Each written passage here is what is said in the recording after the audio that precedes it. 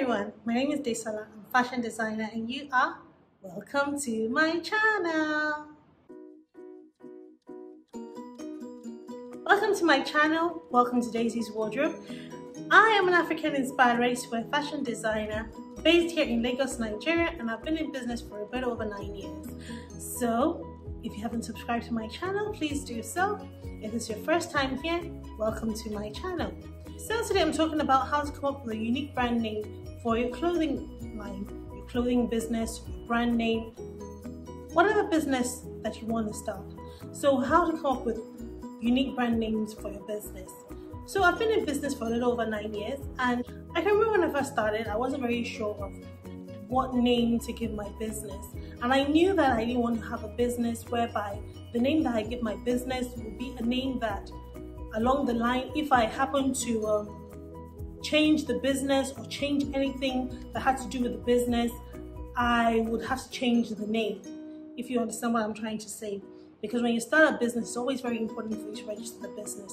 Changing your, your name is not always the easiest thing to do.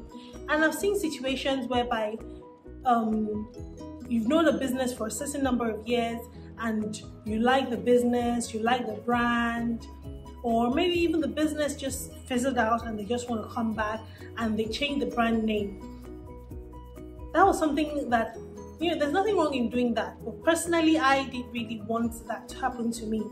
And when I started my fashion business, I I was literally jumping into the water. I didn't really, I wasn't very sure what I was doing really, but I just took a leap of faith and I said, you know, if I want change from fashion business to something else, probably within fashion, not necessarily clothes, I wouldn't necessarily have to change my my my brand name. So um, I came up with different names that I wanted it to be unique, and um, I'll just give you some of the um, characteristics, if if I'm correct, that um, you'd want a unique business name to have. So the first one is you don't want your business name to be too long. You don't want to have a business name that is so long because you want to make a statement. You want people to know that yes, this business has one powerful name, one strong name. You give it one abracadabra.com.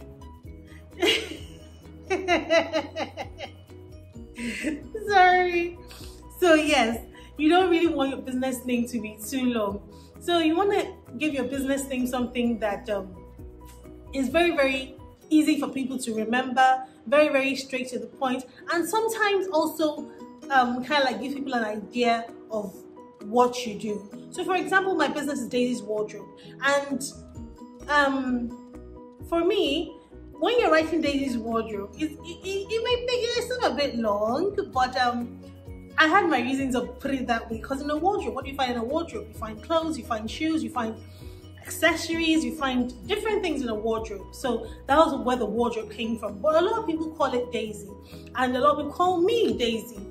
Initially, I hated it, but I've come to live with it and I'm used to it. So yeah, you don't want the name to be too long. You want it to be as straight to the point as possible. You want people to have an idea, sometimes have an idea of what your business is all about. So when you say Daisy's wardrobe, it kind of like gives them not an exact idea, but it has to do with wardrobe. So they start to say, okay, what do you do? So for me, it's a good conversation starter. Another thing is you want your business name to um, be a name that as your business evolves, as your business grows, the name grows with you so that your name can have um, a lasting effect on the identity and the brand of your business, if you understand what I'm trying to say.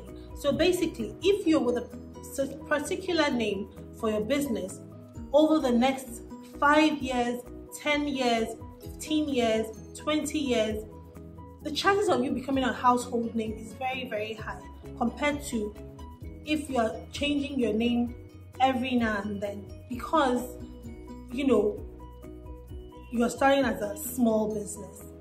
So you want your business name to even even because you don't know how long your business is gonna it's gonna last for.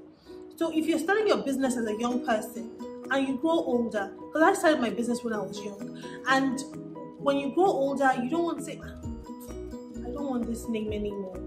I want to change it because you know I've grown, I've evolved, I've matured, I've seen life.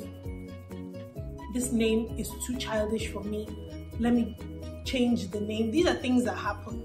So for me, I started my business when I was young and I was Daisy's wardrobe. Today I'm older, I am still Daisy's wardrobe. And even people call me Madam Daisy. I hate that name. But yes, you get my gist.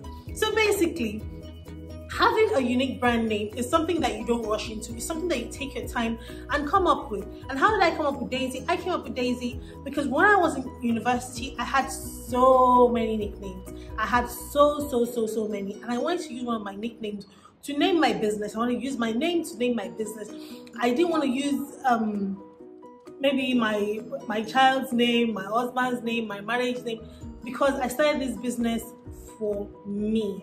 I want it to be me. I want it to be my identity. So one of my friends came up to me one day and she said, Daisy. And I said, Oh, that's new. Nobody's ever called me Daisy before, and I like it.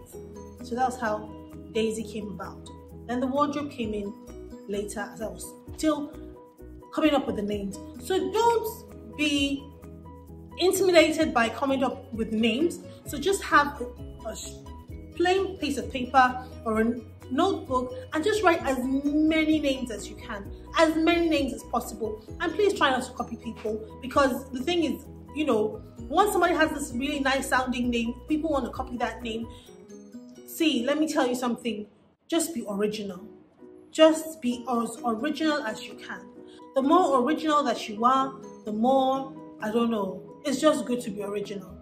Don't do what other people are doing. Do what you want to do. Do what you, like. You do what is best for you. So write as many names as possible. And as you go through the names ask people what do you think? Ask your friends ask your family. And if you feel like you don't want to tell people some people start businesses without um on their own and not wanting people to know you know keep it keep it keep it in private until you know business starts and don't really want to discuss things that's fine. Write out the names pray about it read over the names as much as you can and which one gravitates more towards you. So these are tips for coming up with a unique brand name for your business. And i hope my video was helpful today. Thank you for watching my video. I will see you next week and bye